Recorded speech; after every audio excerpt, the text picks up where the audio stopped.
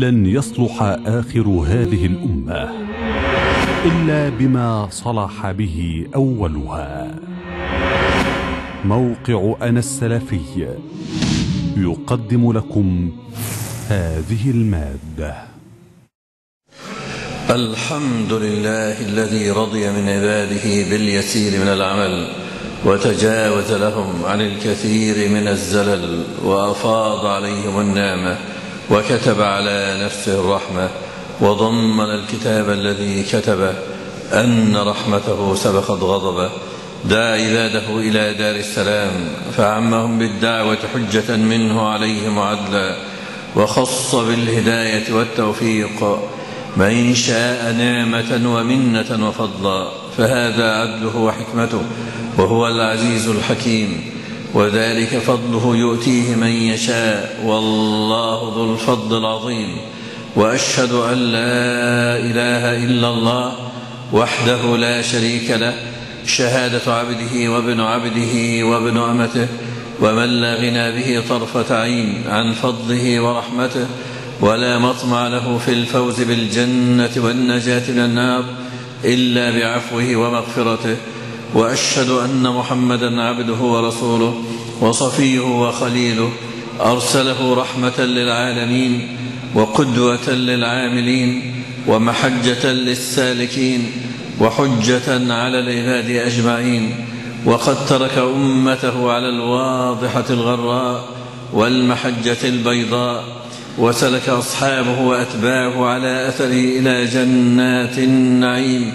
وعدل الراغبون عن هديه إلى صراط الجحيم ليهلك من هلك عن بينة ويحيى من حي عن بينة وإن الله لسميع عليم فصلى الله وملائكته وجميع عباده المؤمنين عليه كما وحد الله عز وجل وعرفنا به ودعا إليه وسلم تسليما. أما بعد عباد الله أصدق الحديث كتاب الله عز وجل. وخير الهدي هدي محمد صلى الله عليه وآله وسلم وشر الأمور محدثاتها وكل محدثة بدعة وكل بدعة ضلالة وكل ضلالة في النار. وما قل وكفى خير مما كثر وألهى وإنما توعدون لآت وما أنتم بمعجزين.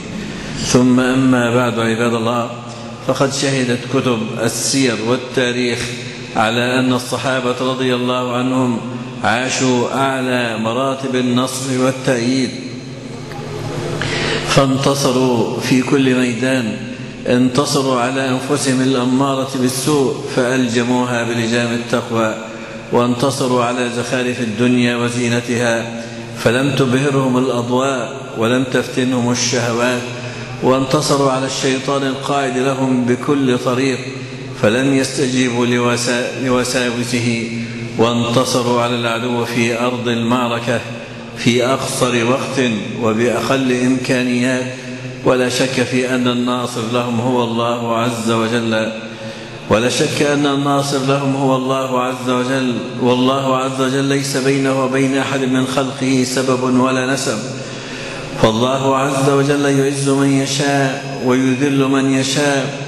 وليس بينه وبين أحد نسب ولكن الصحابة رضي الله عنهم توفرت فيهم أخلاق هي أخلاق النصر وتأهلوا بمؤهلات هي مؤهلات القيادة والسيادة فما العز للإسلام إلا بظلهم وما المجد إلا ما بنوه فشيدوا فما هي هذه المؤهلات التي أهلت الصحابة رضي الله عنهم لقيادة البشرية وما هي أخلاق النصر التي كانت في الجيل الأول حتى نصرهم الله عز وجل لأن هذه الأخلاق وهذه المؤهلات تبقى على كر الأيام ومر الدهور هي أخلاق النصر فمهما توفرت في أمة من الأمم لا بد أن ينصرهم الله عز وجل. فمن ذلك أنهم كانوا يعظمون أمر الله عز وجل.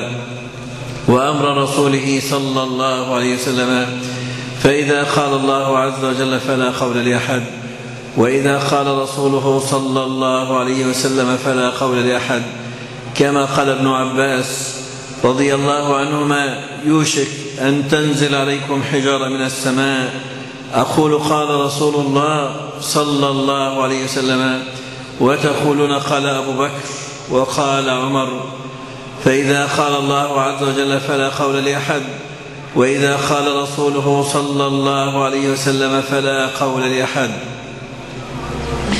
لما عاد النبي صلى الله عليه وسلم من غزوة أحد وقتل من الصحابة سبعين وشج النبي صلى الله عليه وسلم في رأسه كسرت البيضة على رأسه ودخلت حلقة المغفر في وجنتيه صلى الله عليه وآله وسلم.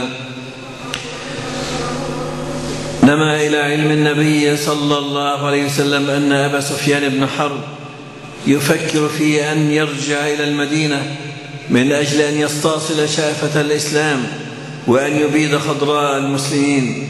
فدعا النبي صلى الله عليه وسلم الصحابة الكرام إلى الخروج لملاقاة جيش أبي سفيان.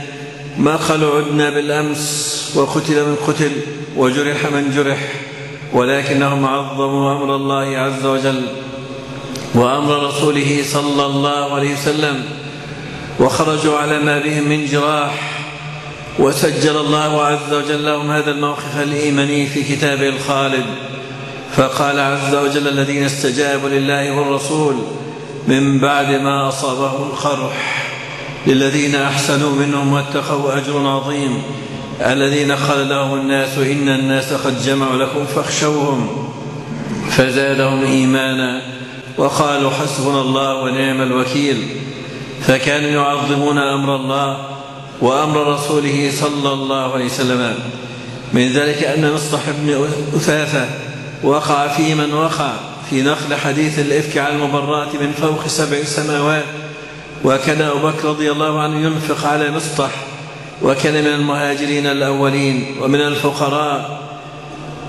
فلما بلغ ذلك أبا بكر حلف ألا ينفع مصطح بنافعة فنزل قول الله عز وجل ولا يأتي لأولو الفضل منكم والسعة أن يؤتوا للقربى والمساكين والمهاجرين في سبيل الله وليعفوا وليصفحوا ألا تحبون أن يغفر الله لكم؟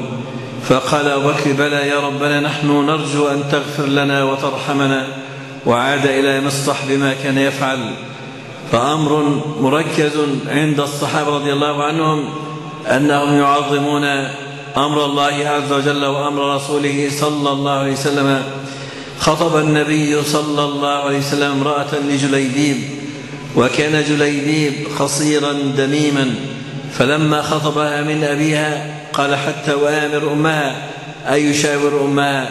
فلما شاور أمها تلكات وقالت أما وجد رسول الله صلى الله عليه وسلم إلا جليبيب وقد منعناها من فلان وفلان وكانت الجارية تسمع فخرجت على أبويها تقول لهما كيف تردون؟ على رسول الله صلى الله عليه وسلم أمره. إن كان قد رضيه لكم فزوجوه. فكأن هذه الفتاة الأنصارية كشفت عن أبويها شيئا كان مقررا عندهما. فذهب أبوها إلى النبي صلى الله عليه وسلم يقول إن كنت قد رضيته لنا فقد رضيناه يا رسول الله صلى الله عليه وسلم. فقال بلى إني قد رضيته لكم. فتزوجت هذه المرأة الأنصارية بجليبيب ونشب الختال وسمع جليبيب سمع جليبيب صوت المعركة فترك زوجته ليلة عرسه وخرج من أجل أن يشارك في الختال. فوجد بعد المعركة قال النبي صلى الله عليه وسلم من تفقدون؟ قالوا فلان وفلان.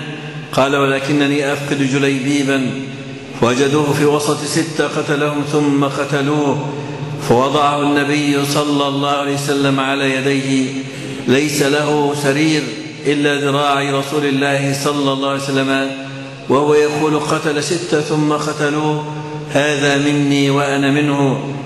فكانت هذه المرأة الأنصرية جديرة بجليبيب قالوا فكانت هذه المرأة أنفخ امرأة في المدينة أي أغلى امرأة مهرا في المدينة لأنها عظمت أمر الله عز وجل وأمر رسوله صلى الله عليه وسلم.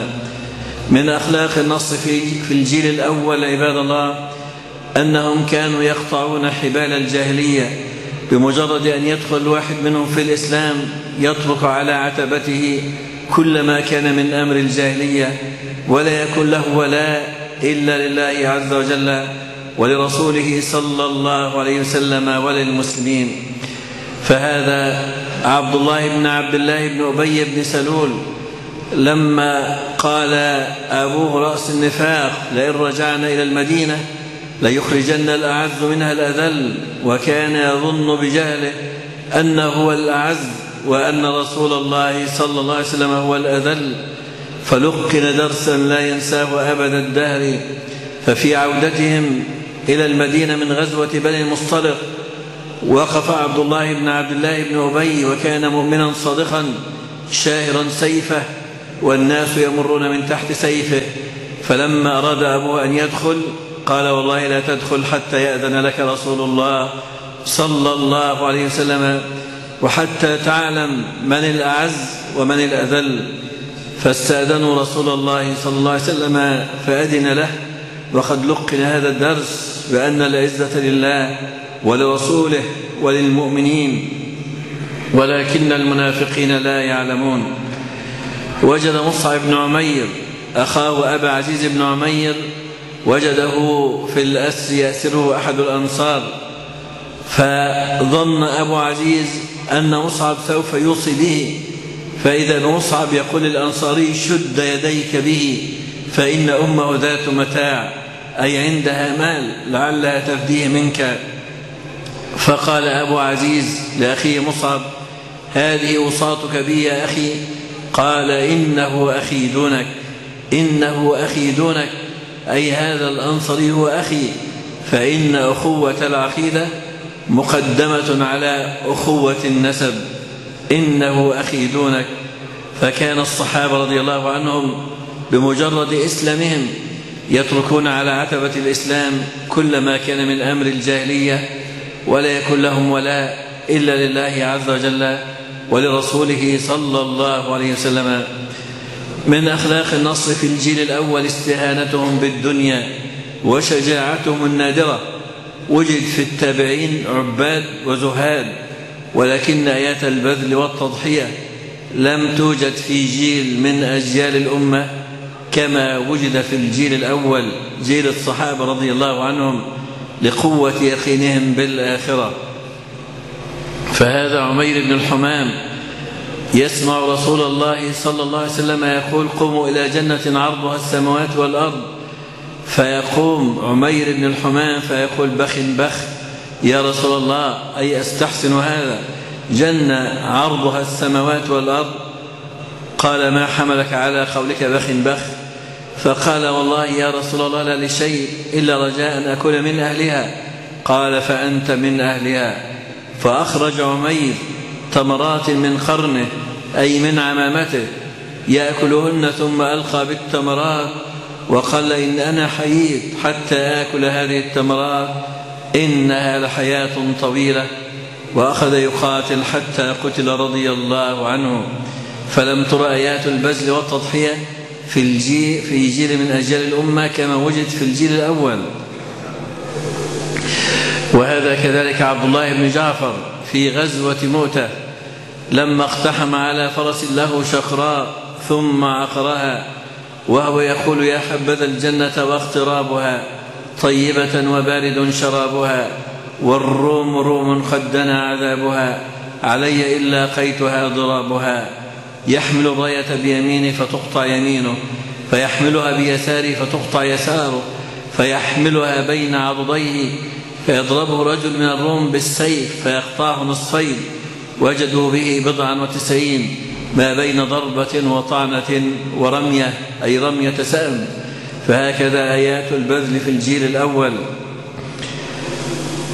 من أخلاق الجيل من أخلاق النص في جيل الصحابة رضي الله عنهم زهدهم في الدنيا ورغبتهم في الآخرة. حتى قال بعضهم ما كنا نرى فينا حب الدنيا حتى نزل قول الله عز وجل منكم من يريد الدنيا ومنكم من يريد الآخرة. فكانوا أزهد الناس في الدنيا. يقول أنس رضي الله عنه رأيت عمر بن الخطاب يخطب وهو يومئذ أمير المؤمنين وبين كتفي رقاع ثلاث لبد بعضها على بعض. أي في موضع واحد من ثوب ثلاث رقاع لبد بعضها على بعض. ولما ذهب عمر يستلم مفاتيح بيت المقدس كان في ثوبه أربع عشرة رقع. عدها القسيسون وهم ينظرون في كتبهم. ووجدوا صفة عمر رضي الله عنه ويلبس ثوبا فيه أربع عشرة رقعة فسلموه مفاتيح بيت المقدس. ولما ذهب عمر رضي الله عنه يستلم مفاتيح بيت المقدس قال أين أخي؟ قالوا من؟ قال أبو عبيدة بن الجراح. قالوا يأتيك الآن. فأتى أبو عبيدة فقبل يد عمر ثم ذهب به إلى بيته فنظر عمر في بيت أبي عبيدة فلم ير إلا سيفه وترسه ورحله. أي ما يوضع على الفرس. فقال لماذا لم تتخذ كما اتخذ أصحابك؟ قال يا أمير المؤمنين هذا يبلغنا المخيل هذا يبلغنا المخيل. فكان الصحابة أزهد الناس في الدنيا وأرغب الناس في الآخرة.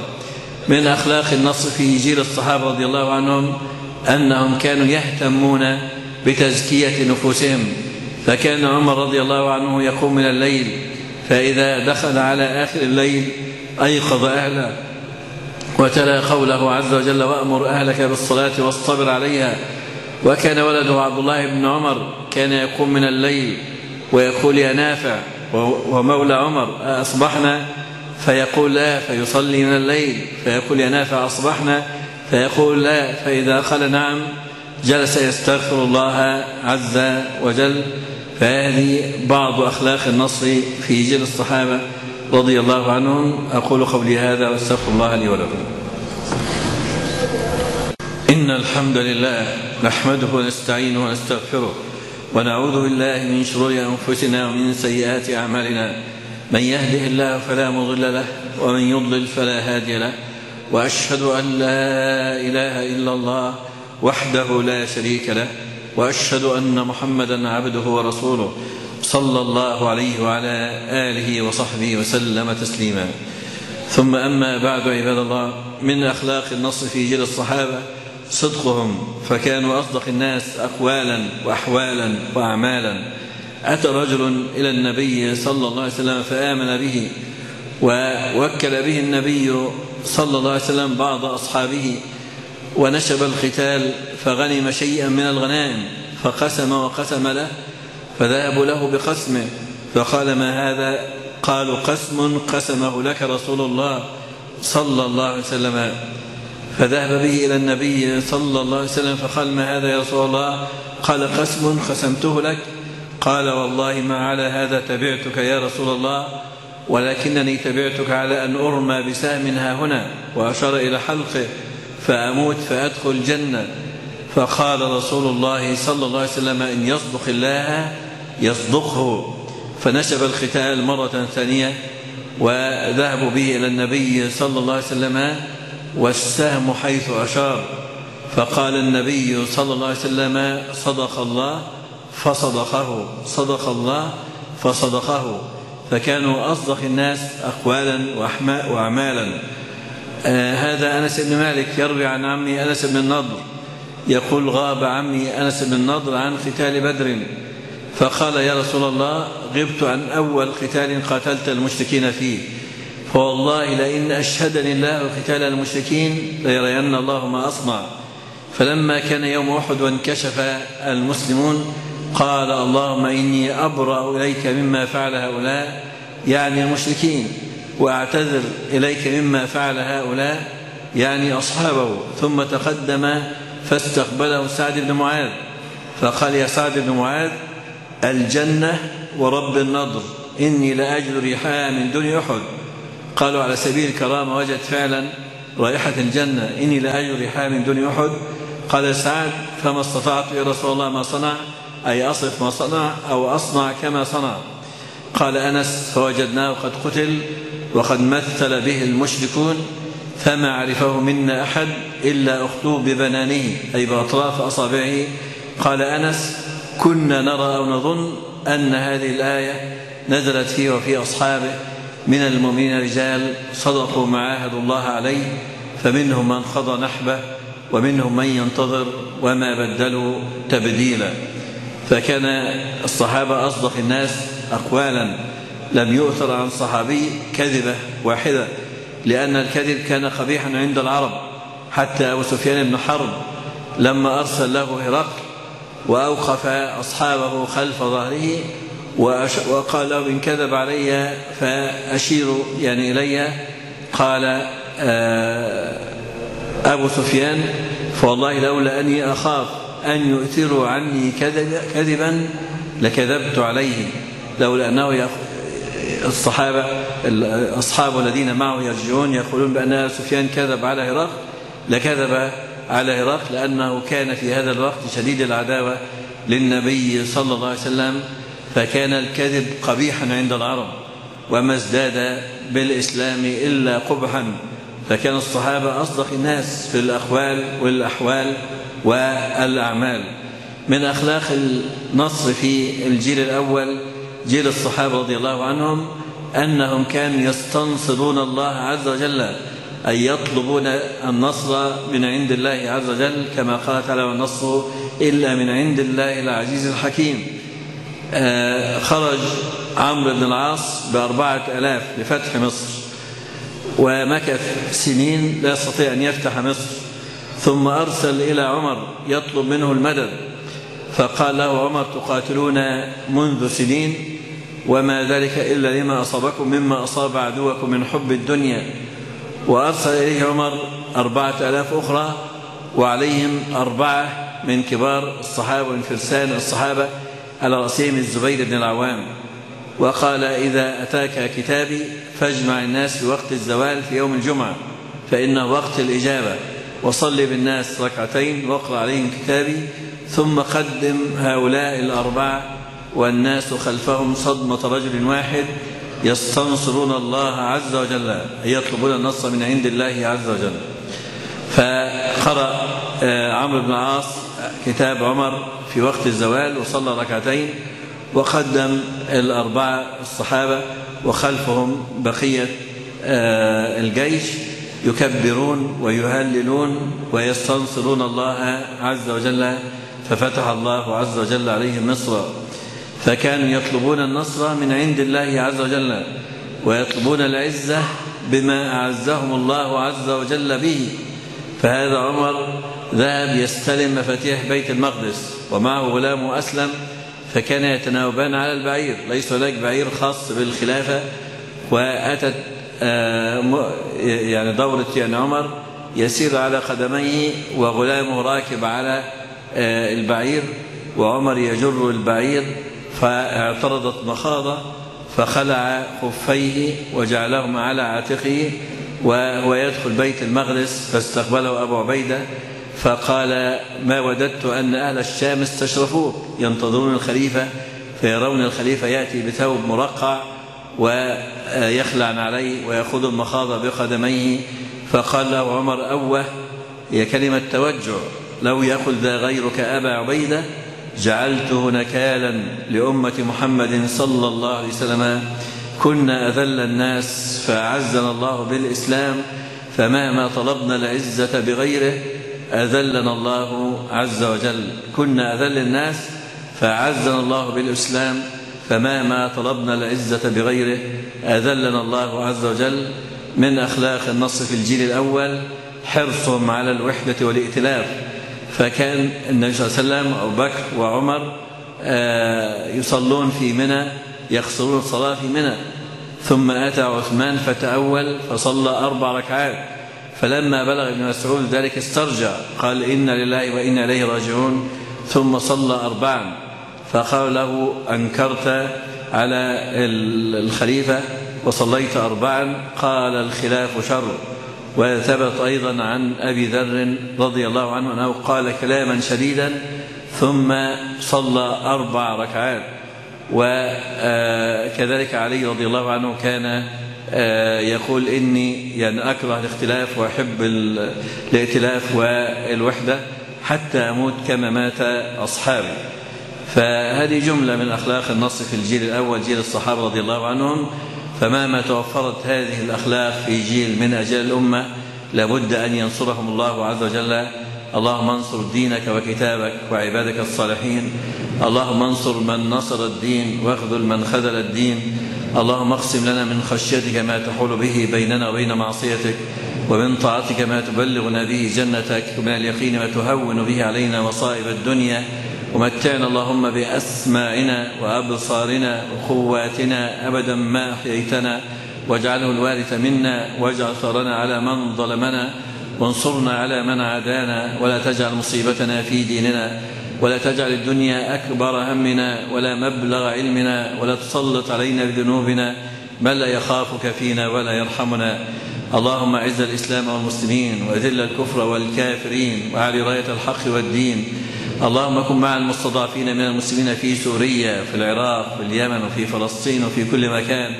اللهم فرج هم المهمومين ونفس كرب المكروبين واقض الدين عن المدينين واشف مرضانا ومرضى المسلمين وارحم موتانا وموتى المسلمين. اللهم ارفع عن بلاد المسلمين الغلا والوباء والربا والزنا وردهم إليك ردا جميلا. وصلى الله وسلم وبارك على محمد. وعلى آله وصحبه وسلم تسليما. قل هذه سبيلي أدعو إلى الله. على بصيرة أنا ومن اتبعني وسبحان الله وما أنا من المشركين.